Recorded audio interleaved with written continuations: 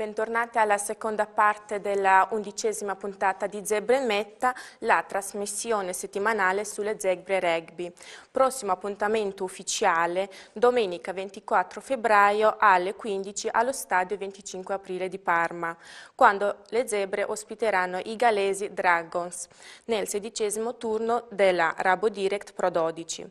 Per chi non riuscisse ad essere in nostra compagnia allo stadio, ricordo che la gara sarà trasmessa in, in differita alle 17 da Sport Italia 2. Abbiamo qui ospite in questa undicesima puntata l'assessore Marani allo sport e politiche giovanili del Comune di Parma, per cui Assessore, quanto è importante per una squadra nuova eh, di livello come le Zebra avere uno stretto rapporto con l'amministrazione e questo rapporto che si è formalizzato eh, qualche mese fa e dunque ci parli un po' anche della cittadella del rugby di Parma che ospita gli allenamenti e le gare di questi ragazzi. Ma devo dire, essendo la mia prima esperienza amministrativa, non saprei dire in generale quanto è importante. Di sicuro è stato importante in questo caso,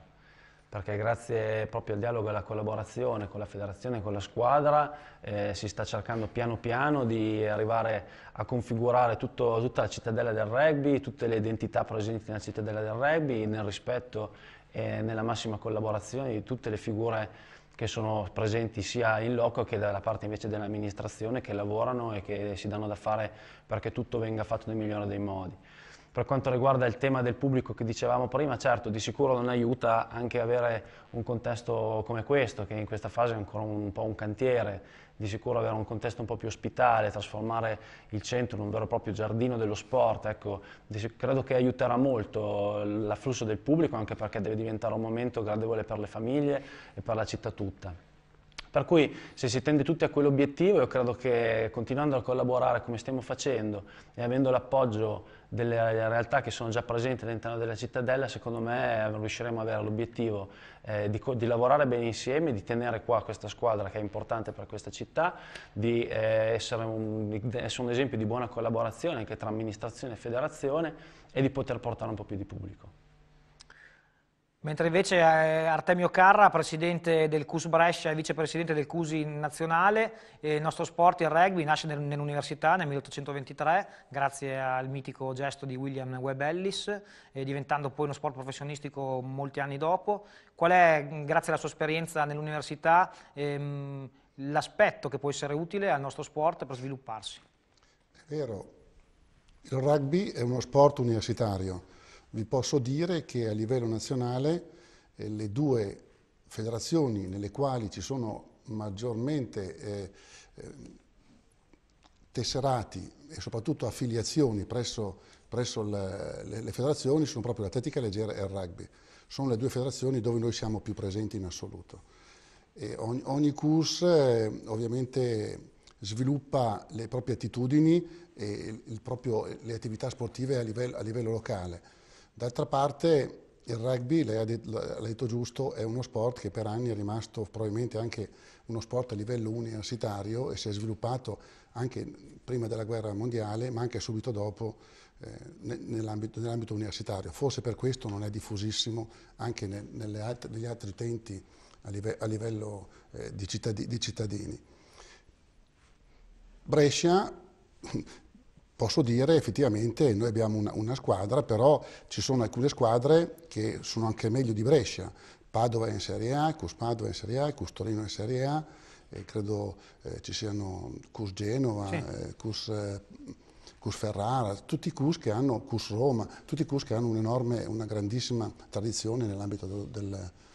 dello sport del rugby. E anche la Federazione Italiana Rugby ha sposato la filosofia di studio e sport grazie alle accademie, sì. quella Ivan Francescato di Tirrenia e anche le accademie zonali, per cui eh, quale può essere il modello giusto di sviluppo di sport e università insieme? Magari questo, magari quello delle, dei CUS che rappresenta dove lo sport è più diciamo, una scelta volontaria o magari quella dei college americani dove lo, lo sport fa parte proprio del piano di studi? Allora, credo che eh, l'attività che si svolge nelle università americane di tipo professionistico o quasi, anche degli studenti che svolgono un'attività quasi professionistica, sia molto distante ancora da, dalla, nostra, dalla nostra realtà. Noi presso le università abbiamo sviluppato in tantissime realtà, in tantissime sedi universitarie, l'impiantistica sportiva e stiamo tuttora eh, sviluppando moltissimi impianti da rugby proprio perché ci vengono richiesti direttamente anche dal, dal, ter dal territorio. Le università sono aperte al territorio, gli studenti universitari fanno la loro attività diciamo, quando finiscono l'attività didattica, durante la giornata siamo aperti a tutto il territorio, così come a Parma e così anche un po' in tutte le città dove il CUS ha degli impianti da, da, da, da poter usufruire. È chiaro che eh, per noi lo sport è a livello dilettantistico, così come la federazione a livello dilettantistico, anche se sappiamo bene che se ci limitiamo a parlare di nazionale o di, o di franchigie e di, e di, zebre o di, o di Benetton, insomma è, una, è, una, è uno sport, è un dilettantismo che non serve se fosse vero dilettantismo, perché oggi giocare a rugby a quei livelli bisogna allenarsi almeno due volte al giorno. E quindi bisognerebbe che le università, almeno nei confronti di quei, di quei giocatori che frequentano anche l'università, acquisissero diciamo, un occhio di riguardo, non dico all'americana, però dando a loro diciamo, dei benefici di altro genere, tipo magari dare dei crediti oppure eh, consentire che magari la frequenza non sia, non, non sia sempre così ehm, precisa alle lezioni come qualsiasi altro tipo di studente. Ci si sta lavorando, non è, non è detto che ci, che ci, si debba arrivare, però ci stiamo lavorando. Ma migliori testimonial sono proprio i giocatori, anche all'interno della Rosa delle Zebre, eh, di, di, giocatori che comunque si allenano due volte al giorno, come diceva il vicepresidente Carra. Ci sono ragazzi che hanno continuato la loro carriera accademica, che stanno studiando all'università, per cui eh, questo connubio sport-università è vero ed è arrivato fino al livello che al più alto livello di club europeo. E, ehm, come ricordava Vittoria, le zebre eh, si stanno focalizzando sul nuovo appuntamento giocato che sarà domenica 24 febbraio alle ore 15 allo stadio 25 aprile di Parma. Eh, Tito Tebaldi arriva un cliente che si chiama Dragons, la squadra gallese di base Newport, all'andata ci tennero a battesimo il 31 agosto con una sconfitta 37 a 6, eh, però da, da quella gara è cambiato tanto eh, le zebre sicuramente sono cresciute, non lo, non, lo, non lo, dice la casella vittoria che ancora è a zero, ma lo dicono le prestazioni, gli applausi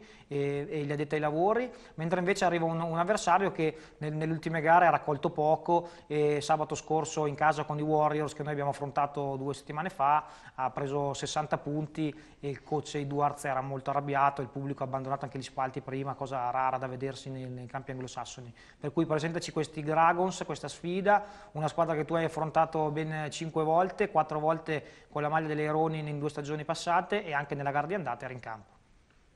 Sì, ecco, questo è uno dei punti però focali, non prendere sotto gamba una partita pensando sia più facile delle altre solo perché appunto ultimamente magari ha,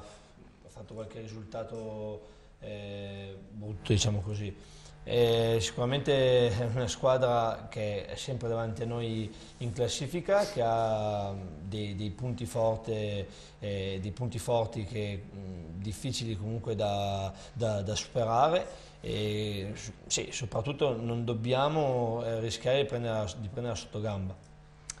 Una settimana che vede le Zebre senza otto effettivi convocati con le nazionali italiane in questo weekend di sfide Italia-Galles anche a livello nazionale, sette con l'Italia di Brunel e Odiete con l'Italia Under 20 di Scena domani sera a Viterbo. Ehm, saranno anche tre, eh, due scusate, le assenze principali del Galles con Falettao e Combs terza linea impegnati a Roma all'Olimpico sabato e l'ID8 infortunato da, da tempo, per cui eh, queste assenze Tito su chi peseranno di più? Nel conto finale, come hai detto tu, probabilmente peseranno più a noi perché perdiamo eh, 8 ragazzi contro 3 loro. E la forza di una squadra, eh, come diciamo anche prima, quella, cioè, deve essere anche una rosa completa e quindi che, che riesce a, a supplire no, a qualsiasi mancanza, vuoi per infortunio, vuoi per convocazioni stiamo, come hai detto tu, stiamo preparando questa, questa gara già da, da, due giorni con eh, già quattro allenamenti in campo, quindi sappiamo che sicuramente è un impegno molto molto importante per noi. Nicola Belardo in terza linea c'è battaglia tra giovani come te, Cristiano, Ferrarini, Caffini e giocatori di esperienza come Bergamasco, Sole, Van Scalquick e Cattina Fortunato che salutiamo. Eh, la concorrenza spinge a migliorarsi di più e qual è il tuo giocatore modello a cui ti ispiri? Sì, diciamo che nel, nel, nel mio ruolo ci sono molti giocatori, anche bravi, quindi ritagliarsi un posto, soprattutto da titolare, non è, non è così semplice. Però ovviamente lavorando tutti i giorni con costanza, diciamo, piano piano arriverò più che altro parlo, parlo a livello personale, arriverò a, ai miei obiettivi che prima di tutto è quello di, di, sperare di giocare un po' di più, facendo un po' più di, po più di, po più di esperienza. Per quanto riguarda il mio giocatore ideale, diciamo, non è che ce n'è uno in particolare, però guardando alla, alla, alla nazionale italiana, diciamo che Zanni è il, è il giocatore a cui mi ispiro un po' di più a livello tecnico. Salutiamo tutti gli ospiti e diciamo arrivederci a tutti gli sportivi e tifosi delle Zebre. Alla settimana prossima per una nuova puntata di Zebre in Metta dove parleremo della gara di domenica e presenteremo la prossima trasferta irlandese di venerdì 1 marzo quando le Zebre faranno nuovamente visita al Connacht in Irlanda.